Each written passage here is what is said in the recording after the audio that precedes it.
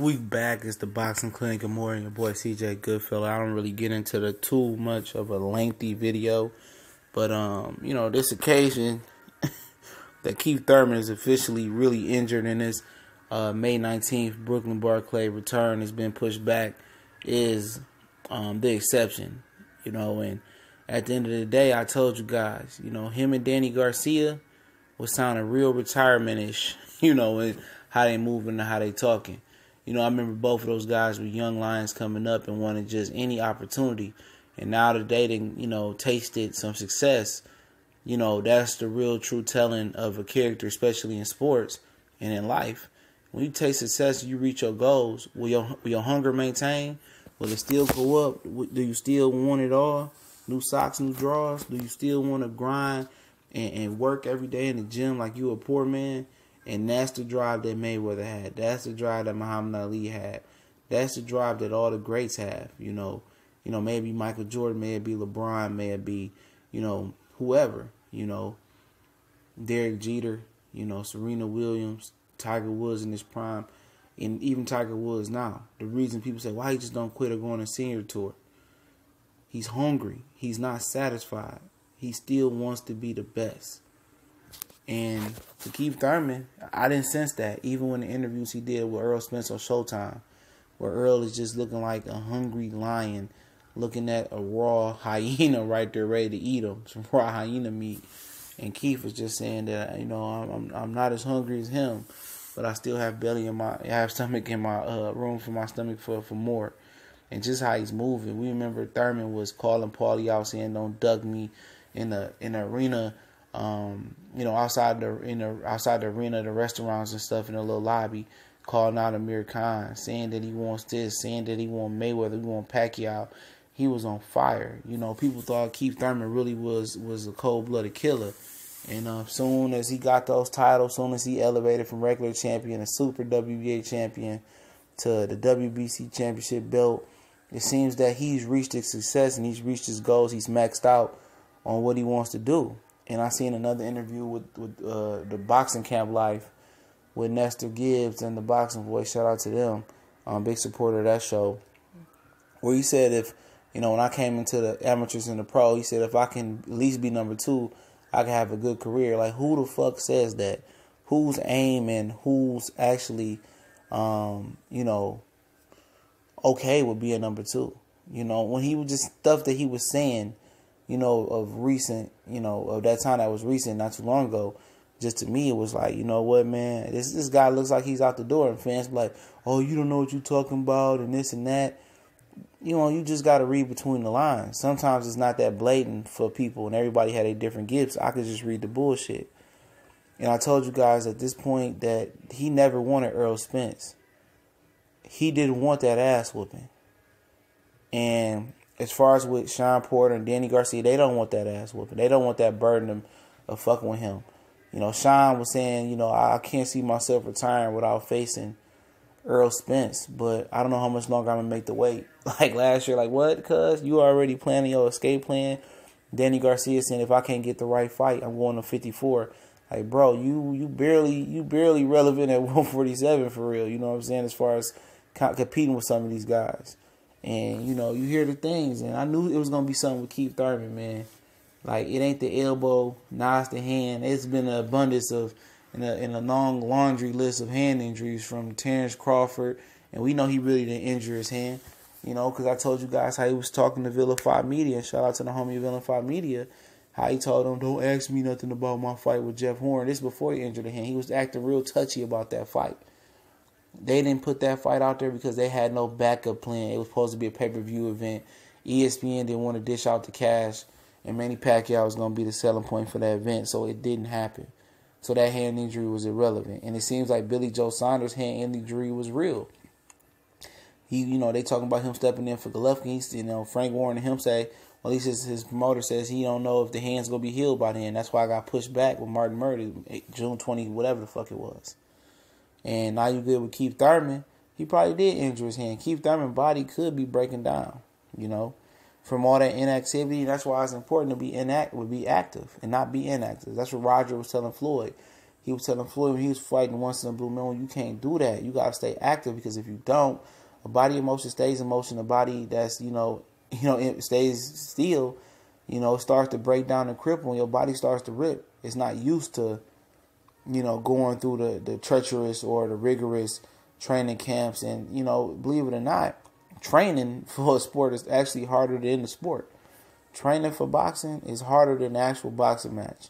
Because every day when you work out and you physically get fit, you're not building muscle when you work out. You tearing the muscle down and all the nutrients and the rest and, and all that stuff you do after you work out is what's build the muscle up. It, it repairs the muscle and it builds it back up. And that's how the body works, you know. So, um, you know, and they know that. And when you inactive, you fight once in 2016 and once in 2017 your body gonna continue to break down. You're gonna have elbow injuries. You know, you're gonna have soft tissue injuries. You know, you're gonna have hand injuries your body's not used to putting that work in. And it didn't help Keith Thurman when he was over in the pause, sparring with some of those amateur fighters. They trying to start an amateur program. He he boxing and they saying his elbow injured and it looked perfectly fine. You know, while he even though it was a small clip, it didn't help Keith Thurman that after the injury, he waited three months to have a had a, the surgery. From what I hear, you know, it it didn't it didn't help him at all. And people just think he's just trying to put Earl on ice and trying to put the division on ice and, and play around with it. You know, even before the hand injury became a topic today, he still didn't have an opponent. So don't that seem a little bit fishy? That he didn't have an opponent and all of a sudden he comes up with a hand injury.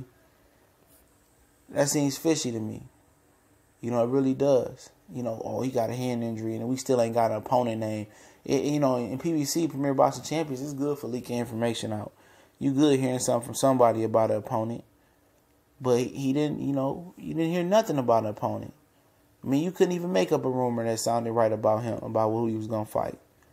You know, and at the end of the day, it's time to strip this guy. If he don't have a fight by June 30th or whatever many days in June 31st, it's time to strip this guy because then he gonna try to fight once this year and then that's gonna be his tune up. Then he gonna try to do whatever he do next year. You never know what's gonna coming up. So as far as the WBC, strip that ass. No if and, if and buts about it. Strip that ass. I understand his relationship with the WBA. He worked tooth and nail to get that that belt. He he beat Diego Chaves for that belt, the regular belt, and then he got elevated to the super champion. So he never fought the super champion, which is not designed to the Super WBA champions actually, you know, this doesn't have a mandatory because it's supposed to be able to give you the flexibility to unify. And it's a great idea once you look at it, and it could just use a few tweaks for it to be, you know, close to perfection. But that's another conversation for another day. You know, it's just all too convenient that you know he injures his hand, and there was no opponent ever rumored to slip out. You know, and I think this was the play all the time. I don't know why they protecting Keith Thurman. But I know Earl Spence is sitting back like, you know, there's some bullshit. And, and it is, you know, it really is. And um, it just seems and give more credence and more traction to the to the notion that he's ducking Earl Spence. And, and the fight ain't to happen. I told you guys, man. You know, this fight probably won't happen. You know, it was funny. Me and uh, Steven Styles was having um, a conversation in the inbox. And I swear to God, like two days ago, he said, I wouldn't be surprised if, if Keith Thurman, it was no – it, he was saying, it was no inklings of of, of a fight for Keith Thurman. And I did a video. He came on inbox saying like, you know what, it'd be wouldn't surprise me if Keith injured himself and ended up retiring. And you know, as a joke, I didn't think it was a joke. You know, that's some real shit. Now, two days later, he injured. You know, I don't take that shit as a joke. Anything with Keith Thurman and light skinned it brothers, man, you don't know, man. You know, I wouldn't be surprised if he said he had a career in, in career ending injury, hand hand elbow injury or something like that, man. You know, I just think I just don't think he wants to compete no more. You know, somebody say he's a Derrick Rose of boxing, probably is. Every injury is being exaggerated or or he's, you know, oh, you know, he's overreacting to the injury and making it bigger than what it is. And it's a mental hurdle when you injure yourself to get over, especially with the elbow. But remember, he fought Danny Garcia with that injured elbow and still went on and outboxed Danny Garcia. Now you just wonder, what if the competition was so thick at welterweight? Would he be acting like this?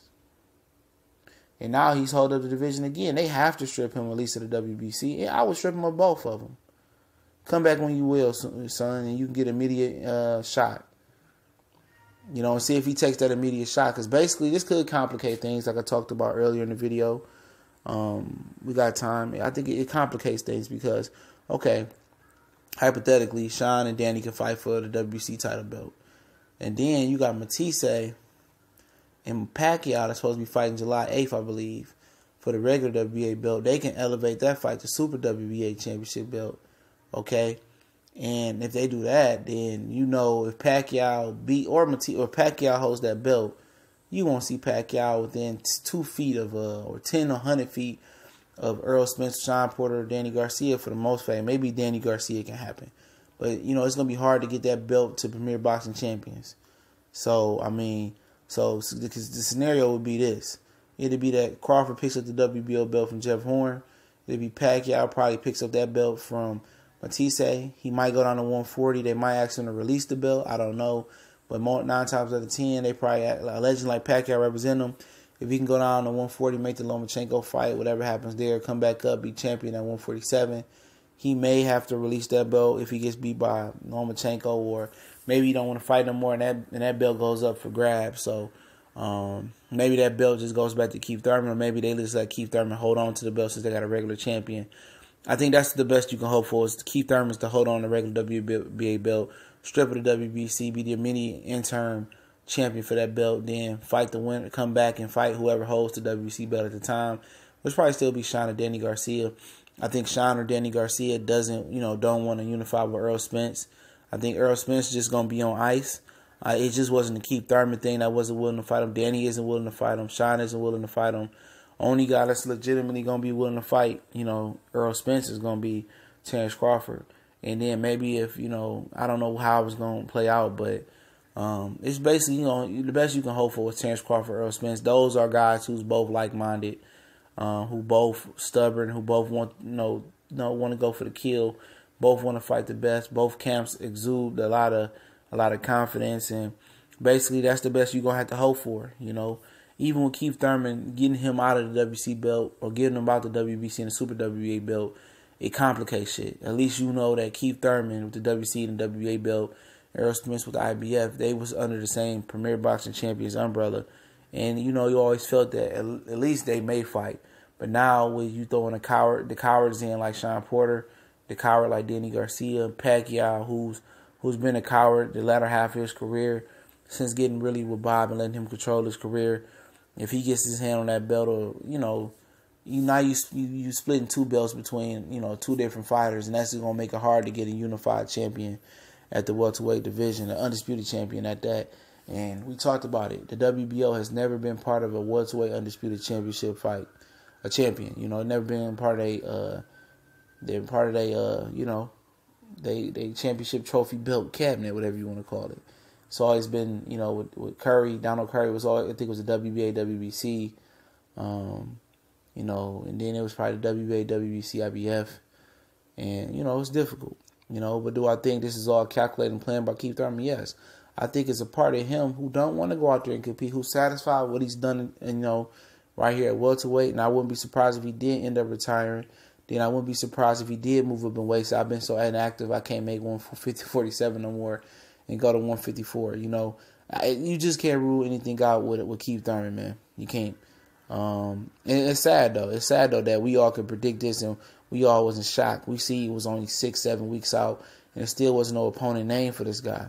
And now it's not the elbow, it's the hand. The people just fed up. This is the type of shit that boxing doesn't need. This is the type of shit that that draws fans away from boxing.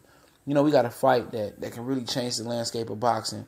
And Earl Spence and Keith Thurman, and it's just not gonna happen now. You know, even if Danny Garcia, Shawn Porter win a belt, it's gonna be an excuse about Errol Spencer why they don't still want to fight him. You know, and they oh we waiting for Keith Thurman to come back. You know, we just gonna wait for Keith Thurman to come back. You know, then we want to prove that we the real champion. Then we fight Earl Spence. I mean, you know, just cause just if they do strip Keith Thurman, it doesn't mean shit gonna get better. Shit still can be complicated. It is gonna be complicated. You have Danny and Sean dancing around each other, acting like punani's. I mean, only guy you really can count on is Earl and Terrence Crawford to fight, and that's sad. You know, it really is. You know, because those only real dogs in the division. Everybody else is Shih Tzu or Chihuahua, Chihuahua, or fucking goldfish. You know, and um, this is just how boxing is, and they wonder why box, boxing doesn't prosper in America like that because you know they don't make fighters like they used to.